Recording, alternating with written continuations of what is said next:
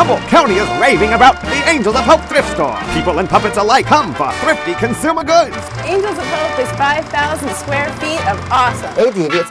Whoa. What are you building? Oh, this. This is my most evil device ever. Whoa. Built entirely from supplies from the Angels of Hope thrift store. Don't tell them. Uh, okay.